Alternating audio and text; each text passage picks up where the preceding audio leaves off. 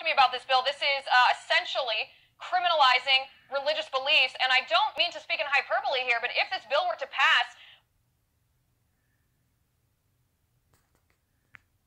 would this uh, prohibit the sale of the Bible that teaches these things about sexual morality? Well, literally, according to how this law is written, yes, it would. This is, you know, PC culture, politically correct culture, gone horribly awry. This is really directly hitting at our First Amendment rights as American citizens.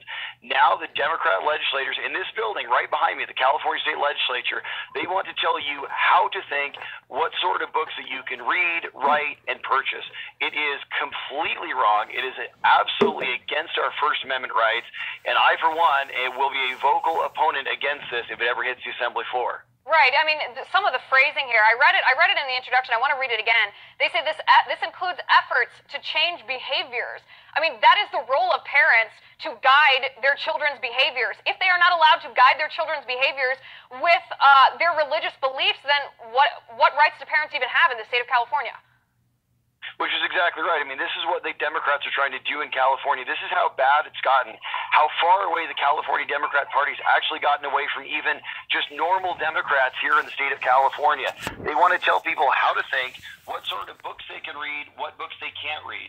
Remember, this country is founded upon the freedom of expression. And now the California Democrats want to take even that away. Right. And, and tell me, I mean, you're in the assembly, you work with these people. I know you respect your colleagues, but who is behind this? This is the whole liberal agenda. I mean, this is what they've been trying to do now for, for decades, clearly in California. It's just gotten so bad because no one's been able to stop the Democrats in California that now their true designs are, are, are really starting to show themselves. This is all of the Bay Area liberal elite groupthink 39 of the last 40 years by the Democrats in California. They have supermajorities in both the Senate and the Assembly that was only broken recently by their own expulsions over sexual harassment allegations. So, I mean, look, it's not as if these guys are a clean house.